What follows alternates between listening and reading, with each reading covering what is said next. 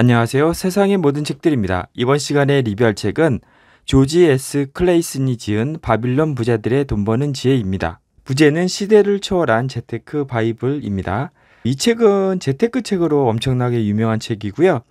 20세기 최고의 재테크 책 아마존 스테디셀러 그리고 존리 대표님이 강력 추천을 하셨다고 하십니다. 이 책은 제가 재테크 처음 시작할 때부터 여러 번 읽은 책이고요. 항상 재테크를 처음 시작하시는 분들한테는 강력 추천하는 책입니다. 요번에 처음부터 끝까지 다시 한번 읽어봤는데 요번에 읽어도 너무 재밌고 도움이 되는 내용이 많더라고요. 그러면 바로 목차를 한번 살펴보겠습니다. 이 책은 제 11장으로 구성이 되어 있고요. 이번 시간에는 제가 이 책 내용 중에서 가장 중요하다고 생각하는 제3장 얇은 지갑을 가득 채우는 비결을 살펴보려고 합니다.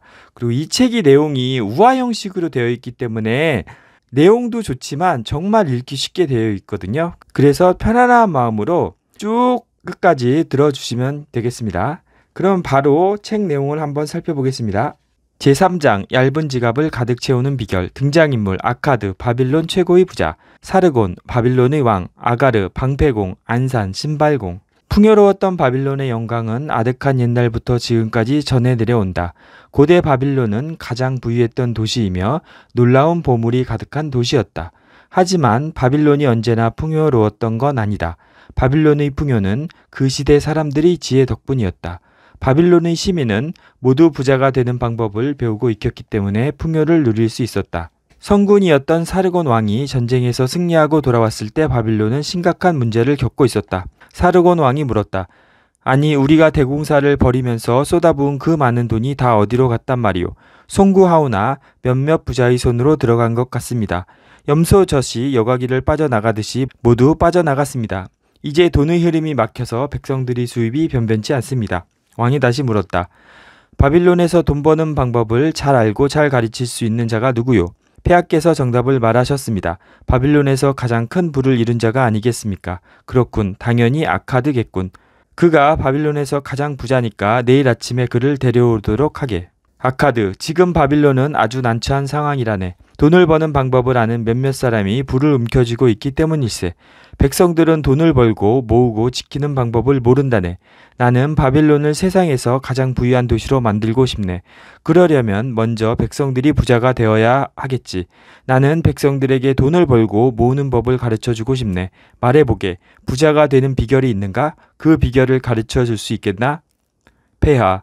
부자가 되는 비결은 간단합니다. 다른 사람들에게 쉽게 가르칠 수 있사옵니다. 2주 후 왕의 명령에 따라 선발된 100명이 배움의 전당에 모였다. 아카드는 작은 탁자 옆에 앉아 있었다. 탁자에는 향초가 밝게 타오르며 그윽한 향을 풍기고 있었다.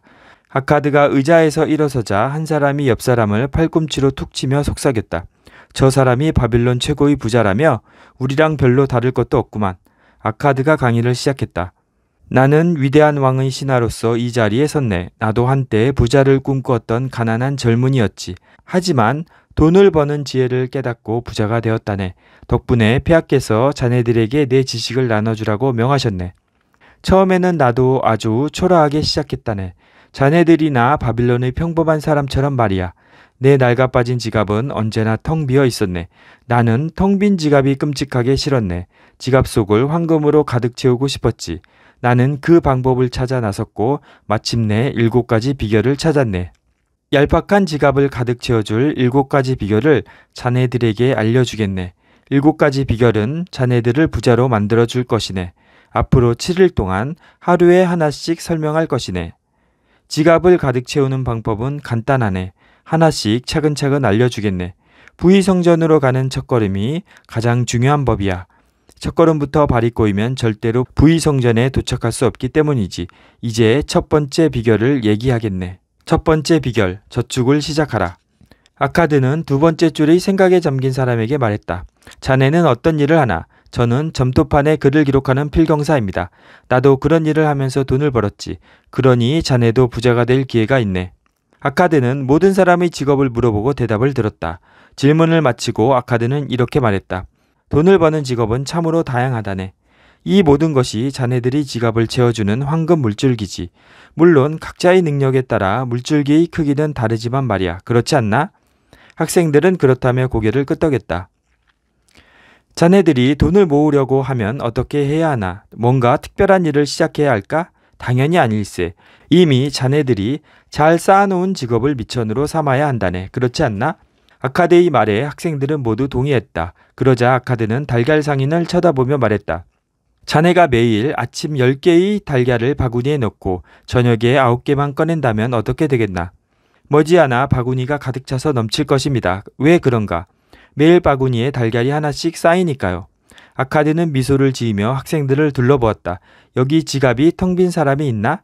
학생들은 재미있다는 표정을 지으며 웃음을 터뜨렸다. 텅 빈 자기 지갑을 꺼내 익살맞게 흔들어대기도 했다. 아카드는 계속 말을 이었다. 좋네. 이제 얇은 지갑을 가득 채울 첫 번째 비결을 알려주겠네. 방금 달걀 상인에게 말한 것처럼 하면 되네. 자네들 지갑에 10개의 동전이 들어왔다면 9개만 꺼내 쓰게. 그러면 금방 지갑이 두둑하게 될 것세. 두둑한 지갑은 자네들이 기분을 좋게 만든다네. 자네들의 영혼도 만족시켜 주지. 비결이 너무 간단하다고 우습게 생각하지 말게. 진리는 언제나 단순한 법이야. 이것이 바로 내가 부자가 된 비결이네. 사실 나도 자네들과 마찬가지였어. 한없이 얇은 내 지갑을 원망하고 저주했지. 하지만 지갑에 동전 10개를 넣고 9개만 꺼내 쓰기 시작하면서 금세 지갑이 두둑해지기 시작했네. 자네들의 지갑도 금방 두둑해질 것이네. 두 번째 비결, 씀씀이를 관리하라. 둘째 날 수업이 시작되었다. 어제 어떤 학생이 이렇게 질문했네. 선생님, 어떻게 10%씩 저축할 수 있나요? 벌어들인 돈을 죄다 써도 먹고 살기 힘든데요. 좋은 질문이야. 오늘은 이 문제를 생각해 보겠네. 어제 지갑이 텅 비었다고 말한 사람이 몇 명이었나? 모두 텅 빈 지갑이었습니다. 자네들은 모두 돈을 벌고 있네. 물론 모두가 똑같이 버는 건 아니지. 어떤 사람은 남들보다 더 많이 벌기도 하네. 하지만 어떤가? 자네들이 지갑은 모두 얇았지. 자네들에게 진리를 하나 말해주겠네. 우리가 살아가는 데 없어서는 안 되는 필수 비용이 있네. 그런데 소득이 늘어날수록 필수 비용도 함께 늘어나네. 지출을 통제하지 않으면 필수 비용은 계속 늘어나기 마련이지. 하지만 필수 비용과 욕망을 혼동하면 안 되네. 사람은 버는 돈에 만족하지 못하는 법이야. 버는 돈보다 더 많은 것을 누리고 싶은 욕망이 있기 때문이지. 수입이 늘어날수록 욕망을 채우기 위한 소비도 늘어나는 법이네. 그렇게 돈을 써도 채우지 못한 욕망이 마음속에 남아있지. 농부가 신경 쓰지 않는 땅에는 어김없이 잡초가 자라나네. 사람 마음도 마찬가지야. 욕망은 비집고 들어갈 틈이 있으면 우리 마음속에 뿌리를 내리고 자라나지. 세상에는 온갖 욕망이 넘치지만 우리에게 꼭 필요한 욕망은 몇 안 된다네. 자네들이 생활 습관을 자세히 살펴보게. 분명히 줄이거나 없앨 수 있는 지출이 있을 것이네. 좌우명을 이렇게 정하게. 반드시 그만한 가치가 있는 곳에 돈을 쓰겠다. 자네들이 욕망을 점토판에 적어보게. 그 중에서 없어서는 안 될 필수 비용과 소득의 90%로 해결할 수 있는 것들을 골라내게. 나머지는 모두 지워버리고 쓸데없는 욕망이라고 생각하게. 살아가는데 필수적인 비용 위주로 예산을 세우게. 자네들이 지갑을 두툼하게 해줄 10%는 절대 건드리면 안 되네. 자네들이 채울 욕망은 바로 이것이네. 수입의 10%는 절대로 건드리지 않겠다. 이렇게 예산을 잘 짜고 예산에 맞춰서 생활하면 자네들이 지갑이 두툼해질 것이네. 그러자 화려하고 멋진 옷을 입은 학생이 일어나 말했다. 저는 자유시민입니다. 세상에 태어나서 인생을 즐기고 누리는 것은 제 권리라고 생각해요. 그런데 예산의 노예로 살라니요. 제가 어디에 얼마를 쓰는지 간섭받는 삶은 끔찍합니다. 무거운 짐을 나르는 당나귀와 같은 신세는 싫다고요. 저는 자유를 누리며 인생을 즐기고 싶습니다. 아카드는 대답했다. 이보게, 자네의 예산을 누가 짜나? 당연히 제가 짜지요. 이렇게 생각해 보세. 당나귀가 사막을 건너려고 짐을 꾸린다면 무엇을 챙기겠나? 값비싼 황금, 보석, 카펫을 넣겠나? 아니겠지. 먹을 건초와 마실 물을 챙길 것이네. 마찬가지네. 우리가 예산을 짜는 이유가 뭔가? 지갑을 두둑하게 만들기 위함이라네. 예산은 자네가 꼭 필요한 물품을 먼저 마련하도록 돕는다네. 그리고 남은 돈으로 필수적이지 않은 다른 욕망을 채우도록 도와주지. 즉, 예산은 자네가 충동 구매에 빠지지 않도록 하네. 예산은 소중한 욕망을 먼저 이루도록 돕는 셈이지. 어두운 동굴을 밝히는 횃불처럼 예산은 지갑에서 돈이 새는 곳을 보여주고 그 곳을 막을 수 있도록 하네. 다시 말하면 예산은 꼭 필요한 곳에 적절한 돈을 쓰게 도와주는 훌륭한 도구라네. 아카데는 학생들을 둘러보며 말을 이었다. 지금까지 말한 것이 두 번째 비결이네. 수입의 90% 범위에서 예산을 세우고 예산 범위에서 꼭 필요한 물품을 사고 남은 돈으로 인생을 즐기게. 세 번째 비결, 돈을 불려라.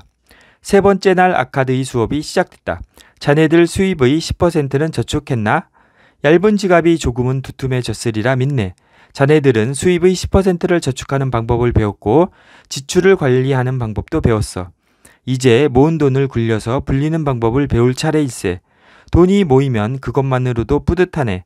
보기만 해도 배가 부르지. 하지만 우리가 모은 돈은 시작일 뿐이네. 이제 이 돈을 일하게 하여 재산을 늘려야 하네. 어떻게 하면 돈이 일하게 할 수 있을까? 답은 바로 투자일세. 내 첫 투자는 실패하고 돈을 몽땅 잃었다네. 이 이야기는 나중에 자세히 말해주겠네. 내 첫 투자 수익은 방패를 만드는 아가르에게 돈을 빌려주고 받은 이자였지. 아가르는 매년 해외에서 들어오는 청동을 사서 방패를 만든다네. 그런데 때마침 상인에게 지급할 돈이 없어 내게 돈을 빌렸지. 그는 믿을 만한 사람이었네. 방패를 팔아서 번 돈으로 원금과 이자를 갚았지. 다음 해에도 나는 받은 원금과 이자를 합쳐서 다시 아가리에게 빌려주었네. 이자가 이자를 낳아 복리의 효과를 받지.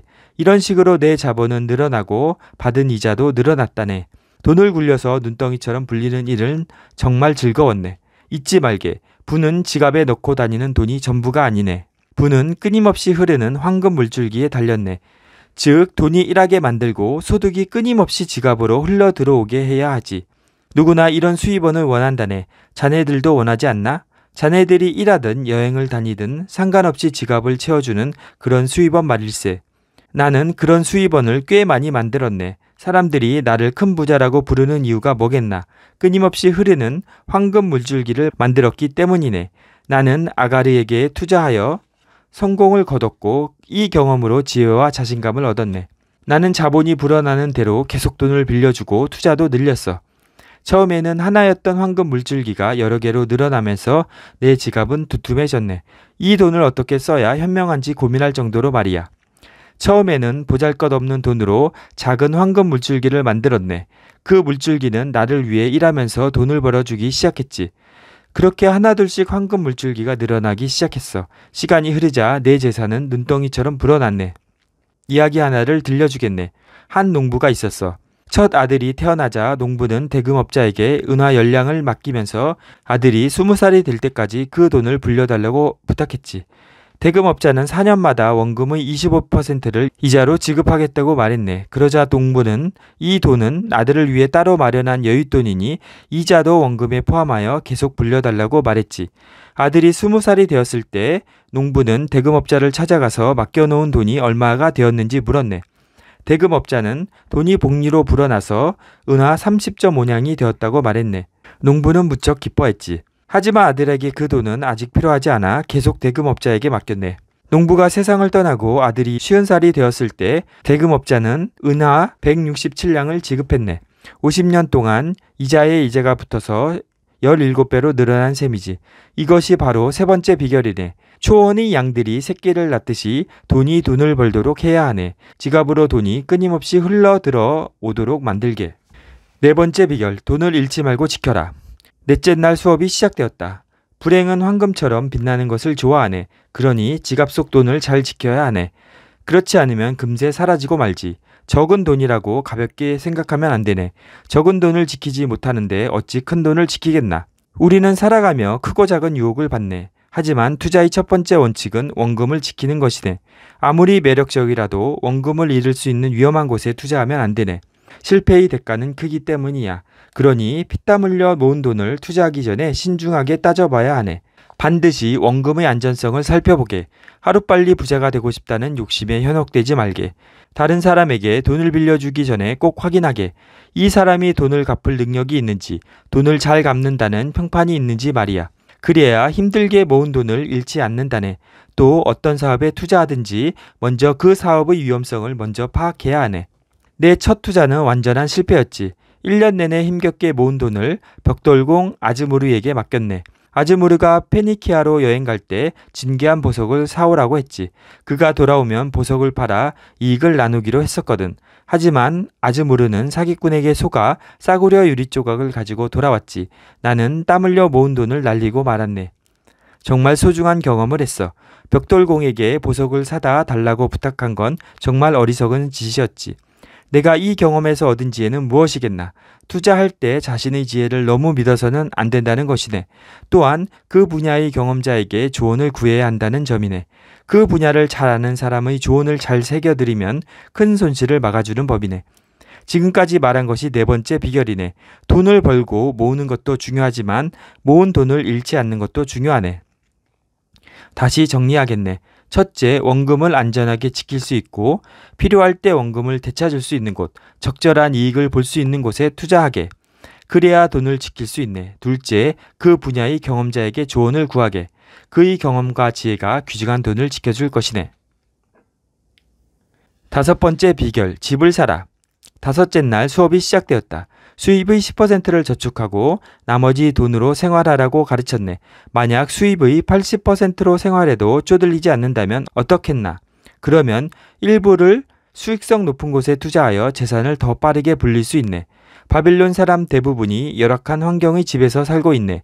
비싼 임대료를 내고 있지만 아내가 꽃을 가꿀 화단도 없고 아이들이 뛰어놀 공간도 없네. 아이들은 더럽고 비좁은 골목으로 내몰리고 있지.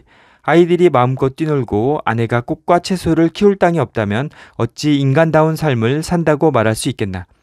자기 마당에서 키운 포도를 따먹으면 얼마나 행복하겠나. 내 소유의 집은 그런 곳이네. 내 집을 소유하면 뿌듯한 마음이 들고 자신감도 심어준다네. 일할 때도 열정을 가지고 더욱 최선을 다하게 되는 법이지. 나는 자네들에게 가족을 지켜줄 안식처인 집을 사라고 권하고 싶네. 의지만 있다면 누구나 집을 소유할 수 있다네. 집값이 비싸서 못 산다는 말은 하지 말게. 열심히 모은 돈이 얼마간이라도 있고 소득도 있다면 적당한 집을 살 수 있네. 대금업자가 집을 담보로 부족한 돈을 빌려주기 때문이지. 그리고 집주인에게 월세를 내듯이 대금업자의 빚을 갚아 나가면 되네. 갚을 때마다 빚이 줄어드니 언젠간 빚을 청산하고 온전한 집주인이 될 것이네. 그러면 가족들이 얼마나 기뻐하겠나. 행복에 겨운 집사람이 더 열심히 내조하지 않겠나. 자주 이사 다니지 않아도 되니 아이들도 좋아할 것이네. 자기 집을 소유하면 좋은 점이 많네. 임대료를 내지 않아도 되니 더 많은 돈을 모을 수 있네. 또한 인생을 즐기고 누리는데 더 많은 돈을 쓸 수 있지. 그러니 집을 꼭 사게. 이것이 다섯 번째 비결이네. 여섯 번째 비결, 미래 수입원을 마련하라. 여섯 번째 수업이 시작되었다. 태어나자마자 우리의 삶은 시작되고 노년을 향해 달려가네. 이것은 변하지 않는다네. 신이 우리를 하늘로 데려가지 않는 한 이 운명에서 벗어날 수 없네.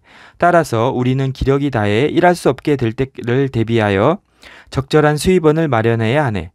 갑자기 불행한 사고를 당해 가족을 부양할 수 없는 상황도 준비해야 하지. 오늘 수업을 잘 듣게. 훗날 자네들에게 예상치 못한 상황이 닥치더라도 두둑한 지갑을 유지하도록 도와줄 것이네. 부자가 되는 원리를 깨달아 재산이 늘어나고 있는 사람이라도 반드시 미래를 대비해야 하네.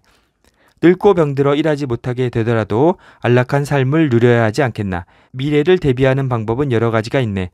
집이나 땅을 사두는 방법도 있다네. 미래에 그 지역이 어떻게 개발되고 어떤 가치를 지닐지 현명하게 판단하여 잘 고른다면 훌륭한 투자가 되네. 임대 수입을 올릴 수도 있고 비싼 가격에 되팔 수도 있지. 대금업자에게 돈을 빌려주는 방법도 있네. 정기적으로 이자를 받아 돈을 불릴 수 있지. 나는 신발을 만드는 안산이라는 사람을 알고 있네. 안산은 8년 동안 매주 은 2냥을 대금업자에게 맡기고 4년마다 25%의 이자를 받았지. 그가 맡긴 돈이 지금 얼마로 불어났을 것 같나. 무려 은하 1040냥이나 된다네. 그가 이 돈을 다시 대거업자에게 맡기고 12년 동안 매주 은하 2냥을 추가로 맡긴다면 얼마가 될 것 같은가. 계산해 보면 대략 4천냥이 된다네. 이 정도면 그가 넉넉한 여생을 보낼 수 있을 만큼 큰 돈이지. 적은 돈을 꾸준히 저축해도 이렇게 엄청난 수익을 올릴 수 있다네. 의지만 있다면 그리 어려운 일이 아니야. 편안한 노년을 위해 가족의 미래를 위해 이 정도는 준비해야 하지 않겠나. 장기적으로 바라보고 자네들 수입과 형편에 맞게 미래를 대비하길 바라네. 조금씩 돈을 모아 미래를 대비해야 하네. 늙고 병들어 일할 수 없는 사람이나 가장을 잃은 가족에게 가다는 고통이기 때문이네. 노후를 대비하여 가족의 삶을 보장할 방법을 준비하게. 여섯 번째 비결은 바로 이것이네. 일곱 번째 비결. 돈 버는 능력을 키워라. 아카드의 일곱 번째 수업이 시작되었다. 얇은 지갑을 두툼하게 만드는 가장 중요한 비결을 얘기하겠네. 그런데 오늘 수업은 돈에 대한 얘기가 아니라네. 형형색색의 옷을 입고 있는 자네들에 대한 얘기야. 성공과 실패는 바로 자네들의 마음가짐에 달렸다는 걸 명심하게. 얼마 전에 한 젊은이가 나에게 돈을 빌리러 찾아왔네. 나는 돈을 빌리려는 이유를 물었지. 젊은이는 열심히 일해도 벌이가 시원찮다며 불평했어. 이런 사람에게 돈을 빌려줄 사람은 없네. 돈을 갚을 능력이 되지 않으니 말이야. 나는 젊은이에게 말했네. 젊은이, 자네가 해야 할 일은 돈을 더 버는 것일세. 자네는 돈을 벌기 위해 어떤 노력을 하고 있나? 젊은이가 대답했네. 제가 할 수 있는 건 뭐든 다 합니다. 두 달간 사장을 찾아가 월급을 올려달라고 사정했었죠. 물론 헛수고였어요. 하지만 저처럼 끈질기게 사정한 사람은 없었을 것입니다. 이 말을 들으니 어떤가? 자네들도 아마 웃음이 나올 거야. 하지만 나는 젊은이의 장점을 발견했네. 그건 바로 돈을 더 벌겠다는 열망이네. 그 열망은 칭찬할 만했지. 무언가를 성취하려면 열망이 있어야 한다네. 어떤 상황에도 흔들리지 않는 강한 열망, 분명하고 정확한 열망이 필요하지. 막연한 열망은 그저 헛된 소망일 뿐이네. 그저 부자가 되고 싶다는 욕망은 너무 막연하네. 그러나 금화 다섯 냥을 가지겠다는 열망은 어떤가? 이렇게 구체적인 열망은 어떤 것을 밀어붙이고 노력해서 이룰 수 있네. 금화 다섯 냥이라는 목표를 이루면 비슷한 방법으로 금화 열 냥도 모을 수 있지. 당연히 언젠가는 천냥도 벌 수 있다네. 그리고 결국 부자가 될 것이네. 그러니 작고 확실한 열망을 세우고 이를 성취하게. 작은 것을 성취하면 더 큰 열망을 품게 된다네. 돈은 이렇게 벌고 모은다네. 처음에는 적은 돈부터 시작하여 점차 큰 돈을 모으는 방법을 배우고 성취하는 것이지. 열망은 간단하고 구체적이어야 하네. 열망이 너무 크고 복잡하면 안 되네. 아무리 노력해도 이룰 수 없는 열망은 결국 좌절로 끝나기 때문이지.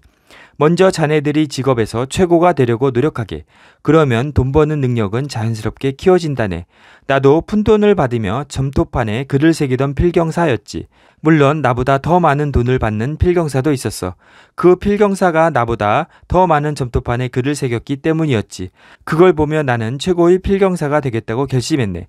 나는 곧 성공한 필경사의 비결을 찾아냈네. 일에 흥미를 느끼게 되자 더욱 일에 집중하게 되었지. 더 집중하고 더 끈질기게 노력하자 나보다 많은 글을 새기는 필경사는 찾아보기 어려워졌네. 당연히 나는 노력과 능력에 걸맞는 보상을 받았지. 내 능력을 알아달라고 여섯 번이나 사장을 찾아갈 필요가 없었네. 사람은 일을 배울수록 능력이 향상되고 더 많은 돈을 버네. 자네들에게 필요한 재능을 가진 사람을 찾아 배우게. 그러면 보상이 따라온다네. 자네들이 기술자라면 그 분야의 뛰어난 기술자의 방법과 그가 도구를 사용하는 방법을 배우게. 변호사나 의사라면 서로 소통하고 지식을 나누게. 상인이라면 좋은 물건을 싸게 살 방법을 연구하고 찾아야 하네. 세상은 언제나 변하고 진보하는 법이네. 부자가 되고자 하는 사람들이 더 나은 기술을 만들고 더 나은 서비스를 제공하기 때문이야.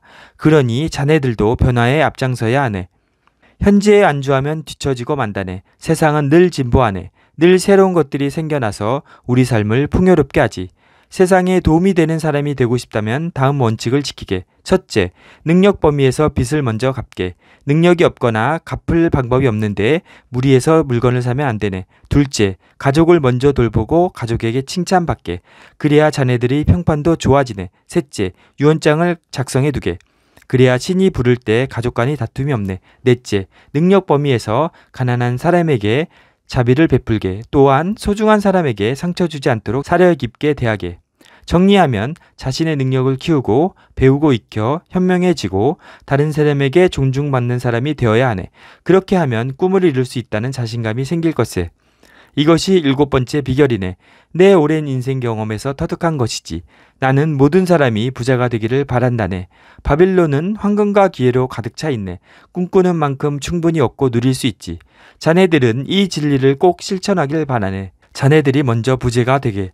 그리고 바빌론의 백성들에게 이 진리를 전해주게. 누구나 바빌론의 불을 누릴 자격이 있네. 일곱 가지 비결을 지키면 누구나 얇은 지갑을 가득 채울 수 있다. 아, 이렇게 본문 내용은 살펴봤고요. 이제 핑크 팬더님의 머니 토크를 살펴보겠습니다. 지금 당장 일곱 가지 비결을 실천하라. 부자가 되고 싶은가? 바빌론 최고의 부자인 아카드는 딱 일곱 가지만 지키라고 했다. 1. 저축을 시작하라. 2. 씀씀이를 관리하라. 3. 돈을 불려라. 4. 돈을 잃지 말고 지켜라. 5. 집을 사라. 6. 미래 수입원을 마련하라. 7. 돈 버는 능력을 키워라. 이것이 바로 돈 버는 지혜이고 지식이다. 수많은 책을 읽고 강의를 들어도 여기에서 벗어나는 건 하나도 없다. 누구나 처음에는 초라하다. 지갑과 통장은 언제나 텅 비어 있다. 월급날 돈이 들어와도 순식간에 통장에서 사라진다. 특별한 일이 없다면 당신은 평생 그렇게 살 것이다. 열심히 해도 상황은 변하지 않고 쳇바퀴처럼 끝없이 돌아간다. 언제까지 한탄하고 통장에 돈 없음을 원망하고 세상의 저주를 퍼부을 텐가. 지금 당장 일곱 가지 비결을 시작하라. 비결이라고 할 것도 없다. 이미 누구나 알고 있다. 일곱 가지 비결을 몰랐던 사람이 있을까? 이 책을 읽는 당신도 시도해 보지 않았을 뿐 많이 들어서 알고 있던 내용이다. 부의성전에 도착하고 싶다면 어떤 일이 있더라도 일곱 가지를 지키겠다고 당장 맹세하라. 어렵다고 생각하지 말고 수입의 일정 금액을 저축하는 것부터 시작하라. 그럴 돈이 없다고 생각하는가? 그렇다면 적급 통장을 만들어 단돈 만 원이라도 자동이체를 시작하라. 그 돈이 없어도 당신이 살아가는데 어려움을 겪거나 불편을 느끼지 않을 것이다. 너무 큰 금액으로 시작하면 부담스러워서 포기하게 된다. 그러니 부담 없는 금액으로 적금을 시작하라. 그 돈은 당신을 부자로 만들어주는 첫걸음이자 모든 것이다. 부자가 될 수 있다고 알려줘도 시작조차 안 하는 건 당신의 책임이다. 아주 우습게 생각하고 시작하라. 내가 이까지 것도 못할 줄 알아? 이런 생각으로 콧방귀를 뀌면서 하면 된다. 그렇게 쌓인 돈이 당신을 부자로 만들어준다. 너무 쉽지 않은가? 이런 식으로 각 장마다 어, 머니토크를 수록하고 있는데요. 이것도 상당히 읽을만 합니다. 그리고 이 책에서 제6장 바빌론의 대급업자는 왜 친한 사람에게 돈을 함부로 빌려주면 안 되는지 그리고 어떠한 사람에게 돈을 빌려 주어야 되는지 그러니까 투자해야 되는지에 대한 내용이 나오거든요. 그래서 이 장도 되게 읽을만 하고요. 제9장 바빌론의 점토판을 보면 빚을 엄청나게 많이 진 교수가 자기의 빚을 어떻게 갚아 나가고 어떻게 재산을 형성하는지에 대한 내용도 나와 있거든요. 이 장도 되게 재밌습니다. 그리고 각 장의 내용이 되게 재미있고 쓸모가 있기 때문에 어, 재테크를 처음 시작하신 분들은 정말 이 책은 꼭 한번 읽어보시고요. 만약 자녀분들이 있다면 자녀분들에게 이 책을 꼭 읽도록 강제시켰으면 좋겠습니다. 그래서 저는 옛날에 애들 책 읽히려고 책 한 권 읽으면 막 천 원씩 준다고 해서 책을 읽혔거든요. 이 책도 애들이 읽었는데 지금은 다 까먹었을 것 같아요. 이 책은 뭐 한 중학생만 돼도 읽을 수 있을 정도로 아주 쉽게 쓰여져 있거든요. 그래서 재테크를 시작하시는 분이나 왜 이렇게 나는 돈이 모이지 않을까 궁금하신 분들은 이 책을 꼭 한번 읽기를 추천드리겠습니다. 이번 시간 내용이 도움이 되셨거나 다음 시간 영상이 기대가 되신다면 좋아요와 구독, 알람 설정까지 부탁드리겠습니다. 그리고 내용이 너무 좋으니까 이 책을 여러분들한테 어, 소개시켜 주셨으면 감사하겠습니다. 긴 시간 동안 시청해 주셔서 감사하고요. 다음 시간에 좀 더 좋은 영상으로 찾아뵙겠습니다. 감사합니다.